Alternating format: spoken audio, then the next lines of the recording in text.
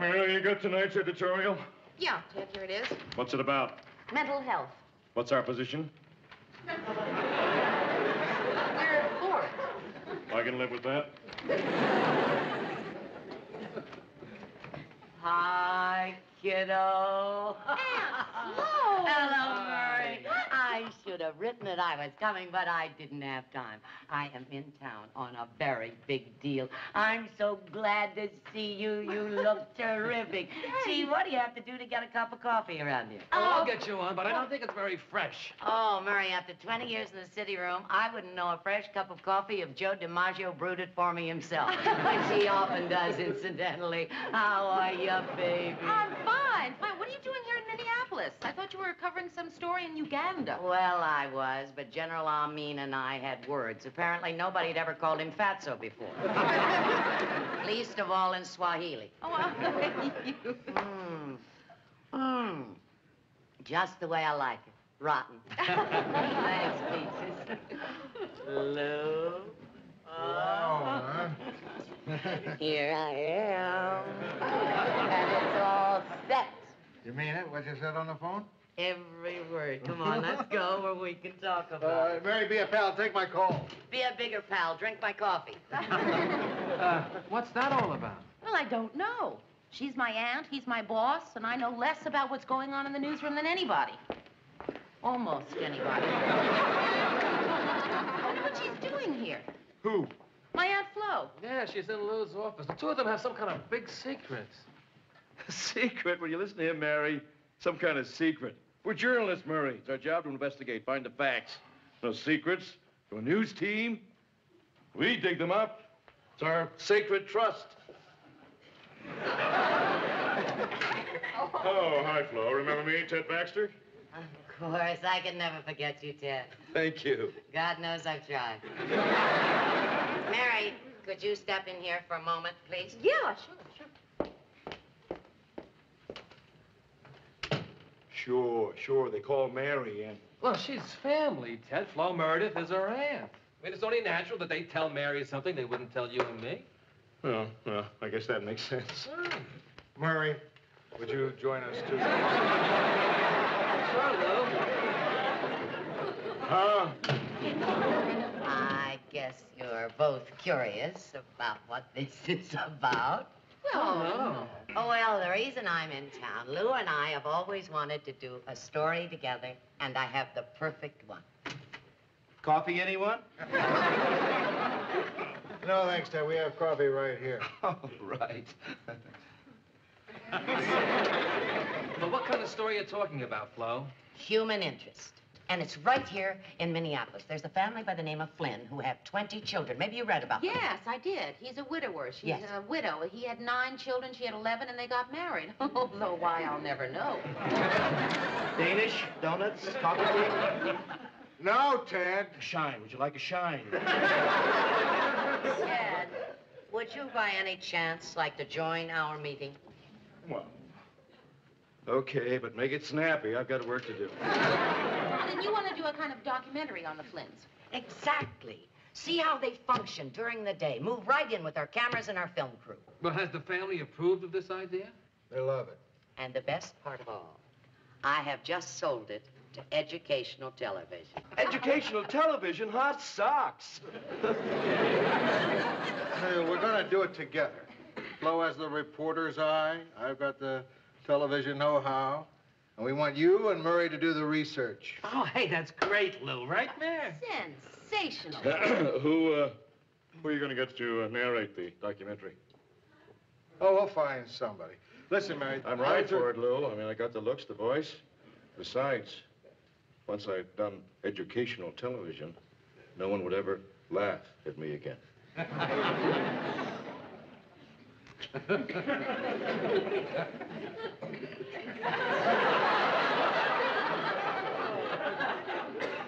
I don't think so. Mary, I'm trying to get across to you. What? Wait a minute. I think you're being a little hasty. I mean, Ted has made a very nice offer, and I think we should take him up on it. We could use some fresh coffee.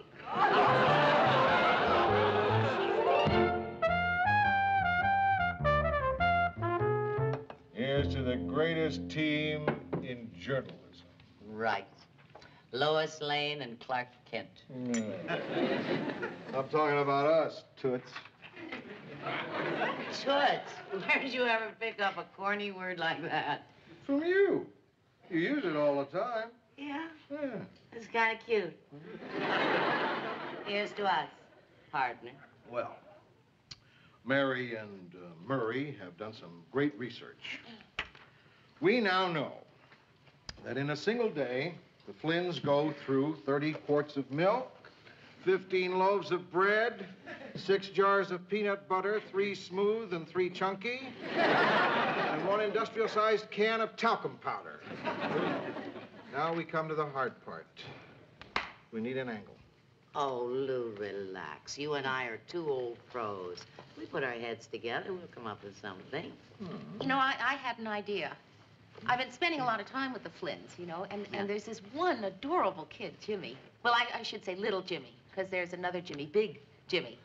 He, he's adorable, too, you know, but he's not quite as adorable as little Jimmy. Anyway, anyway, I was thinking it might be interesting to look at things from his point of view, you know, sort of follow him through a, a, a typical day and, and sort of uh, trace his uh, relationships with the other members of the uh, family. Of course, you know, that's it. That's just the germ, germ of an idea. I mean, you'd have to take it from there and, you know, kind of develop it further. Or you could look at it all through the eyes of little Herbie, if you want to. Well, yeah, I don't have to say little Herbie because there is no big Herbie. There's, you know, just the one. Uh, there's a dog, Henry. you wouldn't want to look at it all through his eyes. you? Well, it's- I'll get that. Hi, Mayor. Hi, Ted. Just happened to be outside in the hall anyway, so I thought I'd drop in. Well, well.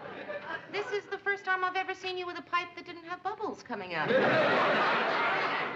I'll uh, call the Flynns and see if I can set up a shooting schedule. Hi, Lil. Hi, Flo. Hi. How's the documentary for educational television coming? Fine, Ted. You've chosen a narrator yet? Not yet, Ted. I've just uh, been in the library. Had my own library card for years. I love books.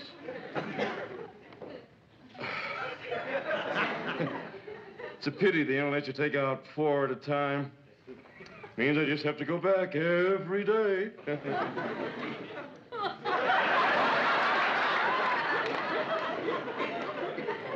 Ted, if you don't mind, we're kind of busy here. Oh, well, I've got to, I've got to do some reading anyway.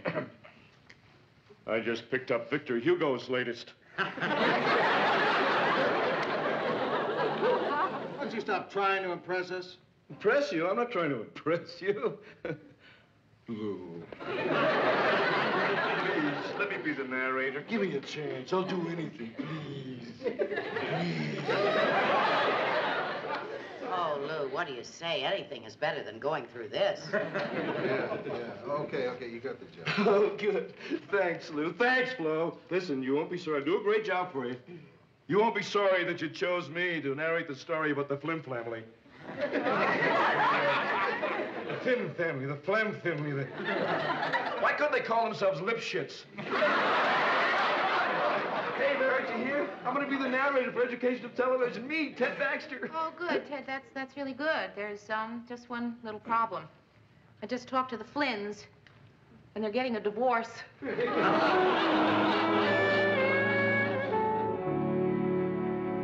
I don't understand. I thought they were happy. Mrs. Flynn said the romance had gone out of their lives. Well, it's no surprise with 20 kids. After all that tucking in, they're probably just too tuckered out.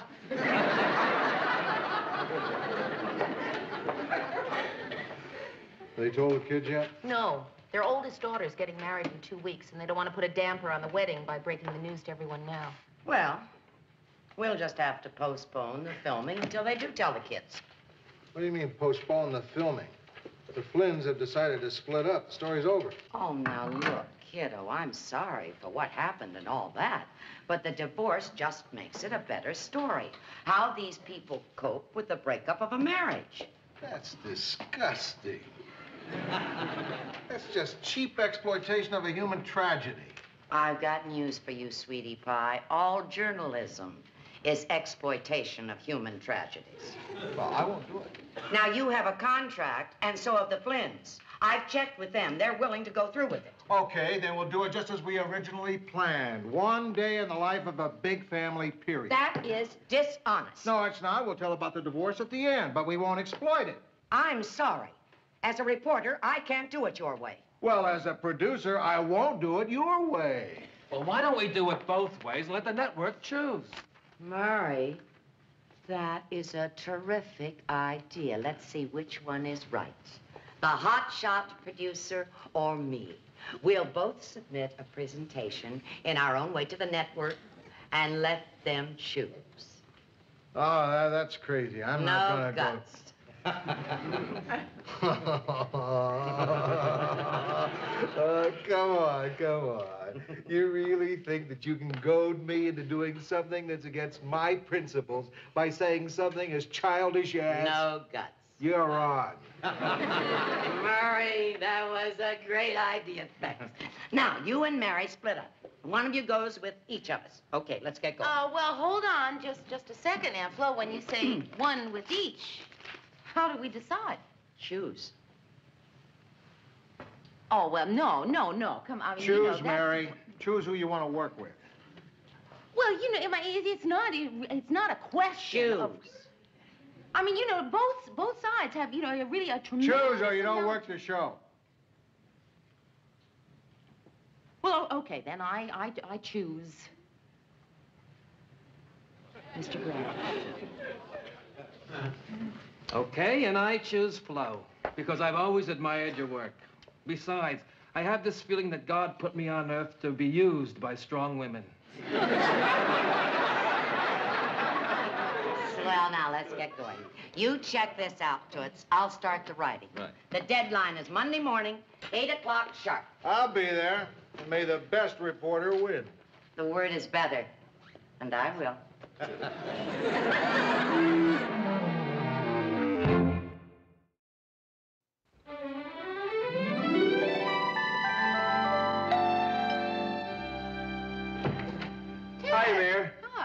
told me about you and Lou and Flo and Murray splitting up in teams. I just wanted to stop by and wish you both good luck. Oh, thank you. Fine, fine, Ted. Uh, whose team are you on? Me? Oh, well, I just assumed that whoever was the winner, I'd still be the narrator. well, wait a minute, Lou. Are you saying that to make up my mind what team I want to be on? Does that mean if I choose a team and it doesn't win, then I'm... well, in that case, naturally, I'm on your team. I mean, I think you're in the right, and I know you're going to win. Besides, today my horoscope told me you will bring good luck to a fat man. How we doing? Fine, fine, fine, Ted. But this is the technical part, and you wouldn't be interested. It would bore you, and I don't want you sitting here acting bored. Bored? I wouldn't be bored, Lou. You always say that. Treat me like a kid. Honest, I won't be bored. I mean, let me let me just sit here. Let me just listen, okay, please? I won't be bored. All right, Mary, where were we? Well, I think we should put in something about tempo in the film editing. Right, my thought is that pace is very important. For instance, in shooting a dinner table scene, I'd want rapid intercutting from face to face, with the voiceover perhaps accelerating to show the. the...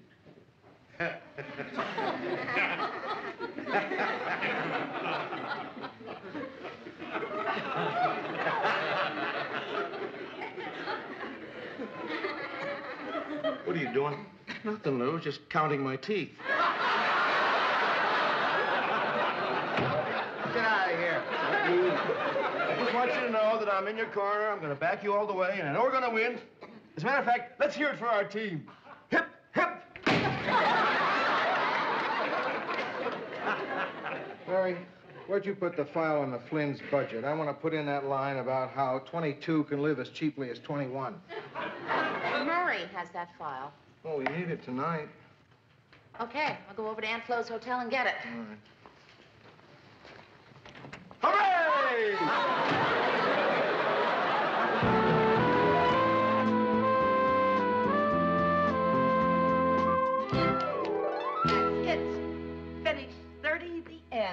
Oh, that is one heck of a story if I do say so myself. Well, you know something? You are really very good.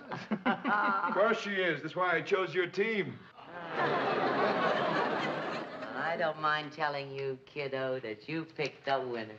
Let's celebrate. Order some champagne. Right, Chief. Champagne got you. Uh, how do I do that? Call room service, give them our number, and order whatever you want. Who pays for it? Ted, I'm on an expense account. Oh, really? Wait till Georgette hears about this. Room service? Uh, this is Ted Baxter of Educational Television. I bet they're all goosebumps in the kitchen.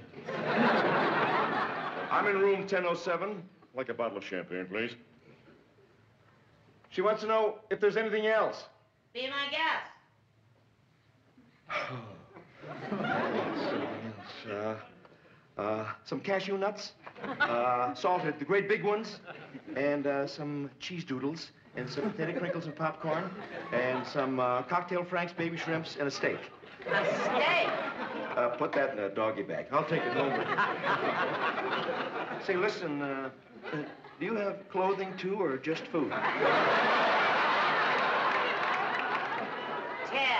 Uh, That's I'll- I'll- enough. I'll call you back later. Boy, talk about fast service. who is it? It's Mary. Oh. Hello, kiddo. Hi. What brings you here? Unconditional surrender? Uh, no, no, I need a file from Murr. How's it going? Tell her, Murray. Huh? We just finished. You finished? Already? What's the matter? Aren't you and Lou almost finished? Almost, yes, nearly. Ve- Very, very nearly. In, in the, uh, uh, home stretch. Well, we're finished, and it's a doozy. A sure winner. Can't miss. Isn't that great, Mayor? Great, yes. Great. Listen, Aunt Flo, I, Yeah, yeah.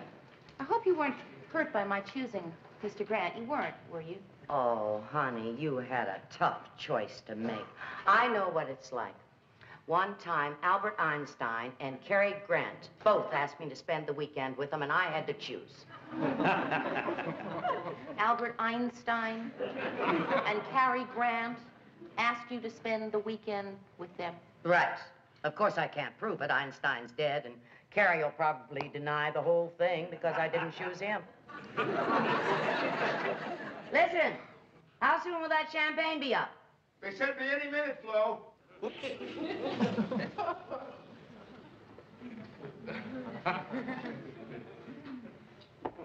Ted? Oh, hi, Mary. I didn't see you under there.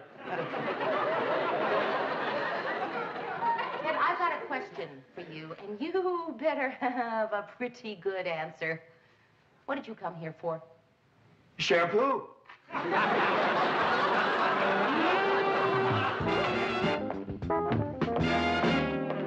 on, Mayor. Why don't you sit down and relax? Oh, Murr, I can't. The network has had both versions for two days. I just wish they would hurry up and make a decision. They did. I just got the phone call. We won, hands down, going away. Oh, Mr. Grant, that's wonderful. Oh, I'm so happy for you. Congratulations. Yeah, congratulations, Lou. Thanks, Murray. Sorry you had to be on a losing team. Yeah, me too, Murray. Sorry I had to be on a losing team. well, that's the way it goes. Some people win, some people lose. That's the way the cookie bounces. Right. uh, well, I've got work to do. He'll get over it. After all, we can't all grab the brass ring. Today you're up, tomorrow you're down. Some get the prize, some get the blues. Matters not who won or lost. Ted, why don't you go count your teeth? Before the number changes.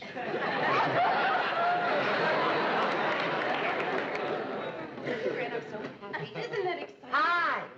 Any word yet? Hey, didn't you get a call? Oh, well, it could be. I haven't been in my hotel all afternoon. What's happening? Uh, listen, Flo, I've been thinking, and I decided that it's, uh, uh, well, it, it's stupid for us to compete. I mean, we started this thing together, and I think we should end it that way. So here's, here, here's what I think we ought to do. Why don't we put both our names on the final version, whoever wins? Oh, Mr. Grant. Oh, baloney. How gullible do you think I am, sweetheart? You heard something, and I have a pretty good idea what you heard. Uh, listen, You Flo. lost, didn't you? And you were not man enough to admit it. And now you want to crawl into the winner's circle? No dice, Grant. No dice. Well, that's just the. oh, Aunt Flo! Mary, you should be a writer. You have a way with words. You lost. Mr. Grant won, and he was trying to give you a graceful way out, which you were too conceited to accept. How do you like those words? He just made a lovely, generous offer, and you sneered at it. You make me want to scream. Is that true? Yeah, I couldn't have put it better myself, except for the screaming part. Aunt Flo. Well, now you have said enough, Toots. Believe me, it is not easy to be told off by Shirley Temple. now, as a good niece, suppose you tell me what I can do to apologize. Well, it's not going to do you any good to go in there now. Not after some of the things you said to him. Maybe a day or two, but right now, you go in there, you're just wasting your breath. I never could resist a challenge. Congratulations. I guess the better man won. Thanks. Anything I can say to patch things up? I don't think so. Well, let me rephrase the question in the light of uh, certain information I didn't give you the first time. In 1945, in France, General de Gaulle gave me a bottle of cognac, which was then over a 100 years old. I brought it along. It's at the hotel. I was hoping we could use it to celebrate our partnership.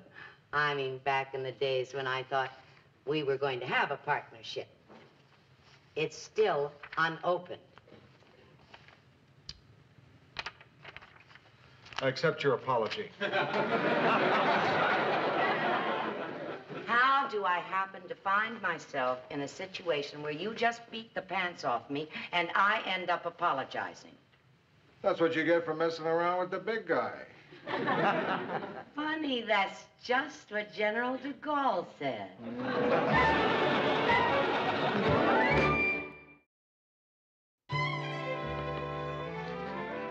Well, warned her not to go in there. Can you imagine the language that's flying around that office right now? Well, I wouldn't worry. I'm sure Lou's heard most of those words before. Well, you know Mr. Grant. He's never going to forgive her. Mary, if anybody wants me, I'll be in Flo's hotel room.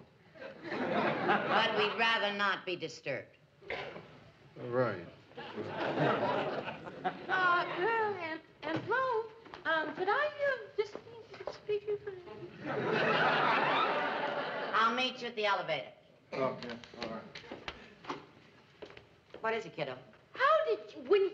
Oh, listen, never, never mind about that now. Now, I want you to do a big favor for me. Sure. Call room service at the hotel and have them send up the dustiest bottle of cognac that they can find.